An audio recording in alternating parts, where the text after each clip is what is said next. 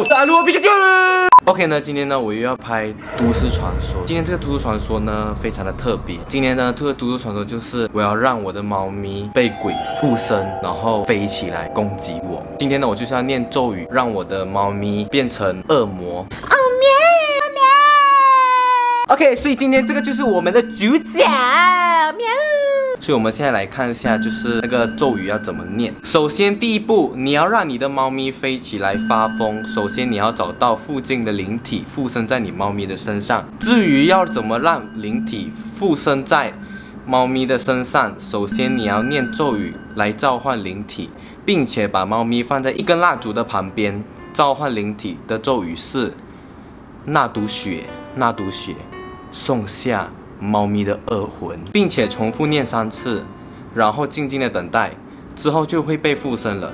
如果没被附身，那就是有可能附近没有灵体，或者是你的方式错误。OK，所以现在我已经准备了一个蜡烛跟我们的主角熊猫咪，所以我现在蛮害怕的啦，因为毕竟真的是很胆小，所以我要去做这个都市传说，还是有一点害怕，因为我怕我的猫等一下飞起来攻击我，然后把我。干掉的话，只像我的脸被它抓烂。很好，我就是要把你脸抓烂。OK，废话不多说，Let's go。OK，大家，所以现在我已经准备好了，要施这个魔法。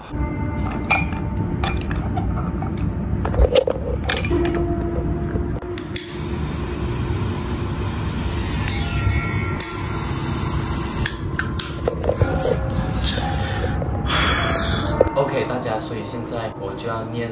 咒语啊！我现在有点害怕。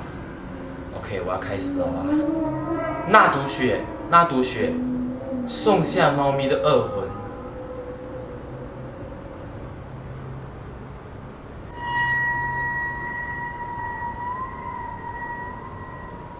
OK，我们再来一次啊！那毒血，那毒血，送下猫咪的恶魂。那毒血，那毒血。送下猫咪的恶魂。